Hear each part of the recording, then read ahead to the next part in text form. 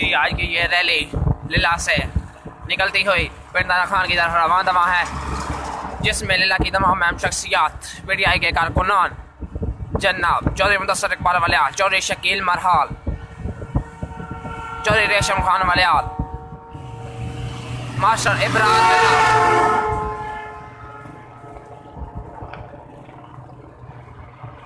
اور ان کے علاوہ دیگر پارٹی کارکنان وزیر اعظم عمران خان کا استقبال کرنے کے لیے رواں ہیں جی پین دادن خان کی طرف۔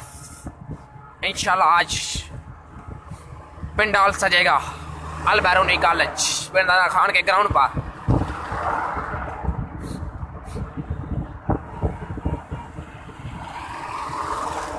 گاڑیوں کی بہت ہی بڑی تعداد پین دادن خان کی طرف ہے رواں۔ دواں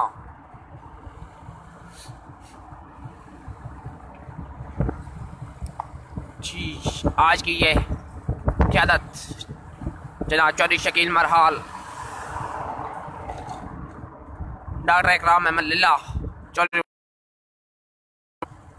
ملل خالد بچال راجہ شاہ نواز علی خان، ماسٹر ابرار اور تمام دیگر اہم شخصیات کی زیر قیادت بندر خان کی طرف ہے جی رواں دواں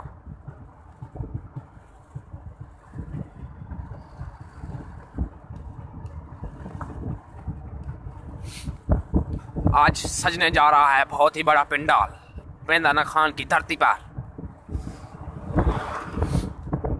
جس میں وزیر اعظم عمران خان آج بہت ہی بڑے پروجیکٹ کا اعلان کرنے جا رہے ہیں افتتاح کرنے جا رہے ہیں۔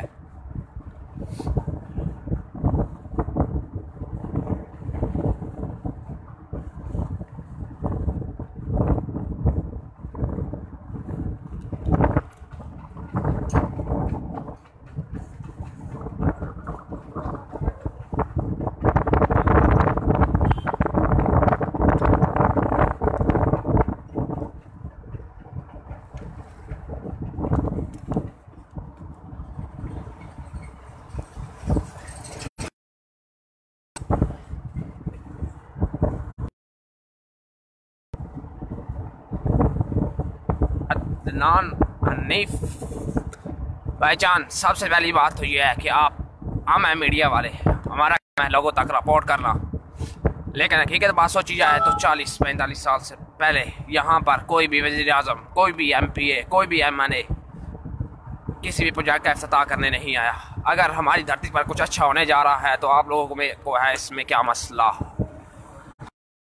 اچھا کر رہے ہیں تو ہونے دیجیے۔ جیلم پر آج تک کوئی کام نہیں ہوا۔ اگر یہ پہلا کام ہونے جا رہا ہے تو ہونے دیجیے جناب۔ لوگوں کو ایک نہر ہمیں بھی ملنی چاہیے۔ کا اچھا کام جیلم کے اندر بھی ہونا چاہیے۔ اس پاکستان کو بنانے کے لیے دن دگنی، رات چگنی۔ جیلم کے نوجوان محنت انتاک محنت کر رہے ہیں۔ بتاتا چلوں کہ آج لنگر گاؤں کا شہید ہو کر آ گیا ہے، تو وہ وطن کے لیے خون اپنا دے رہے ہیں، تو انہیں بھی کچھ ملنا چاہیے۔ ٹھیک ہے۔ جی چودھری قاسم مسعود مرحال بھی ہمارے ساتھ لائیو موجود ہیں۔ ہم ان کو آج بہت مس کر رہے ہیں۔ انہوں نے کوئی نہیں، آج۔ بہت